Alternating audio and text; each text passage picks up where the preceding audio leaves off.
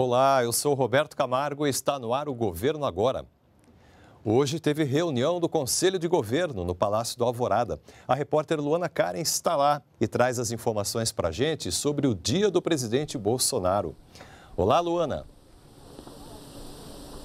Olá, Roberto. Bom dia a todos que nos acompanham aqui na TV Brasil. Antes da reunião do Conselho de Governo, o presidente Jair Bolsonaro participou da cerimônia de hasteamento da bandeira aqui no gramado do Palácio da Alvorada. Ele estava acompanhado dos ministros de Estado, da esposa Michele Bolsonaro e do vice-presidente da República, Hamilton Mourão. Em seguida, o presidente Bolsonaro se reuniu com o Conselho de Governo. Essa foi a décima reunião do grupo.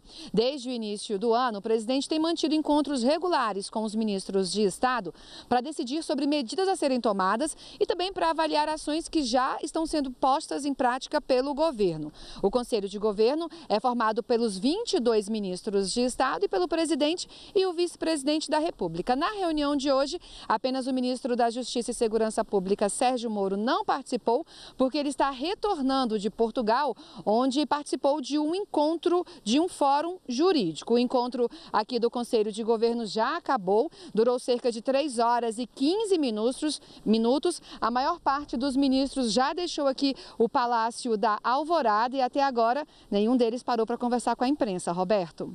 Tá certo, Luana. Obrigado pelas informações. Um bom dia para você. O quarto levantamento da safra da cana-de-açúcar 2018-2019 mostra que o Brasil deve alcançar uma produção total de mais de 33 bilhões de litros de etanol. Essa marca representa um aumento de cerca de 23%, ou seja, mais de 6 bilhões de litros em relação ao período passado. O levantamento foi divulgado pela Companhia Nacional de Abastecimento, a Conab. E o cenário confirma um novo recorde de produção de etanol para o país. O governo agora fica por aqui. Acompanhe a gente também pelas nossas redes sociais. Até a próxima edição.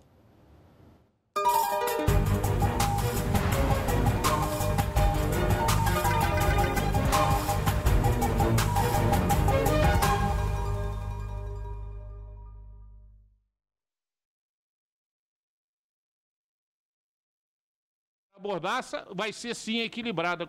Muito obrigado. Brasil acima de tudo.